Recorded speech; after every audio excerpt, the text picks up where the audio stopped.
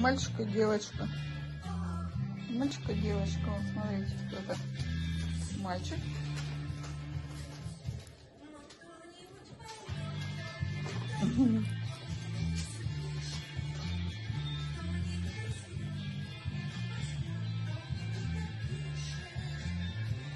Это девочка. Да, да, девочка. Ну, девочка. Девочка. Близнецы. Да, два близнецы.